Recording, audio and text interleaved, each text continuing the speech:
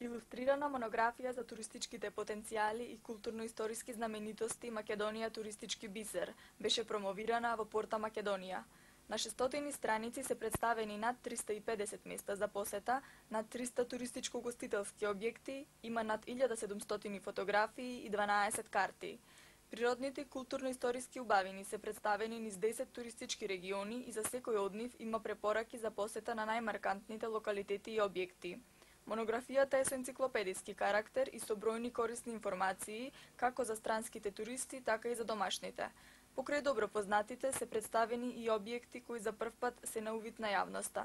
Целта на оваа монографија е да се представат природните убавини, културно-историските знаменитости, како и туристичко-гостителските објекти низ државата.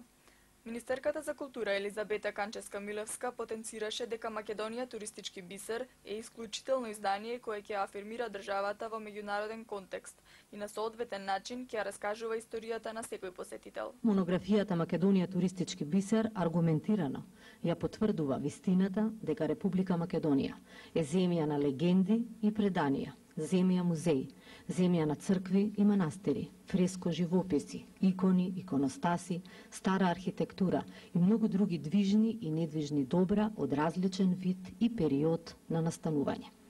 На страниците на ова издание, на преку 700 фотографии, е прикажано богатото културно наследство кое го поседуваме како држава, нашите археолошки локалитети како Хераклеја, Стоби, Скупи, но и голем број на вредни артефакти кои се дел од богатата македонска ризница.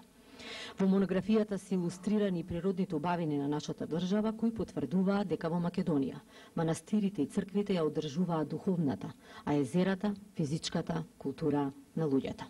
Генералниот менаџер на информативно-деловниот бизнис центар, во чие што издание е монографијата и главен и одговорен уредник Крсте Савевски, истакна дека идејата била да се создаде дело кое ќе ги обедини македонската убавина, културните вредности и традиција и на едноставен и разбирлив јазик да ги прикаже пред читателите. Автори на монографијата се Благоја Марковски, Ратомир Гроздановски, Тодор Чепреганов, Дејан Николовски, како и фотографот Анте Јосифовски – Монографијата е дел од годишната програма на Министерството за култура. Издадена е на македонски и англиски јазик, а може да се најде во музеите, сувенирниците и во некои книжарници.